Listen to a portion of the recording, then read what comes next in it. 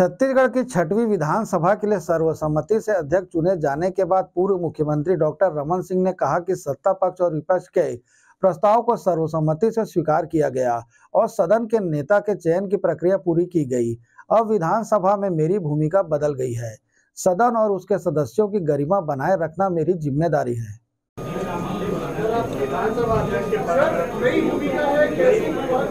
नई भूमिका सिस्टम विधानसभा का प्रथम दिन और प्रथम दिन एक महत्वपूर्ण विषय जो छत्तीसगढ़ के विधानसभा और विधानसभा की गरिमा कैसे बढ़े, पक्ष और विपक्ष ने, माननीय विष्णुदेव साय जी, अरुण साहु जी, ब्रिजमोहन जी, अजय जी और इधर विपक्ष की ओर से माननीय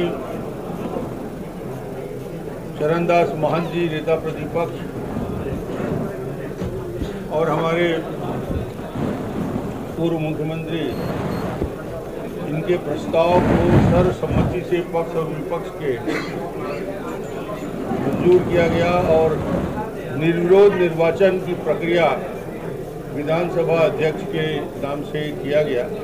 मैंने चरणदास जी को, भूपेश जी को और पूरी टीम को, भारतीय जनता पार्टी के मुख्यमंत्री और सभी सम्मानित सदस्य, कांग्रेस और गोंडवाना के सभी सदस्यों को धन्यवाद दिया कि आम सहमति के साथ विधानसभा के अध्यक्ष का चयन आप सबने किया और मेरी जवाबदारी है कि इस विधानसभा को निष्पक्ष भाव से, अभी तक मैं पंद्रह साल मुख्यमंत्री के हैसियत से एक भूमिका में छत्तीसगढ़ में राजनीतिक दृष्टि से काम करता रहा। आज मेरी भूमिका विधानसभा में बदली गई है और मैं मेरी दायित्व तो इस विधानसभा के नब्बे सभी सदस्य, इनके मान सम्मान, गर्मा बढ़ाना, उनके अंदर जो कुछ है, वो सर्वश्रेष्ठ कैसा छत्तीसगढ़ के लिए वो दे सकते हैं?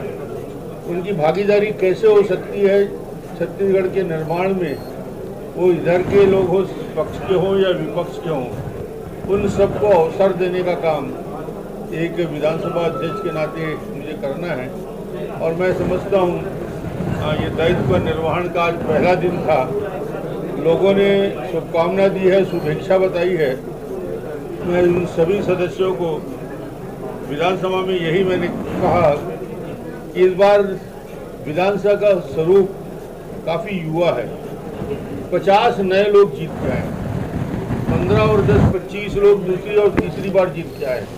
पचहत्तर सदस्य हमारे ऐसे हैं, जो पहली बार जीत के और दूसरी और तीसरी बार जीत के आए हैं। इसका मतलब है कि पक्ष और विपक्ष दोनों तरफ़ से नए सदस्यों की बहुत बड़ी संख्या इस विधानसभा में है। एक बड़ा प्रबोधन का कार्यक्रम दोनों पक्ष के लिए करना पड़ेगा। 19 19 महिला हमारे विधायक जीत के आई हैं, पक्ष विपक्ष मिला ये करीब करीब 20 प्रतिशत होता है कुल विधानसभा के विधायकों की संख्या का। और सीनियर मेंबर भी जीत के आए हैं, सात बार छः बार, पाँच बार, चार बार। ये सारी परिस्थितियों में छत्तीसगढ़ के एक नया दायित्व मिला है भारतीय जनता पार्टी को, मुख्यमंत्री से और नेता प्रतिपक्ष दोनों से। आज हमने यही आग्रह किया कि हम सब मिलके छत्तीसगढ़ के विकास को एक दिशा देंगे, आगे बढ़ाने का काम करेंगे।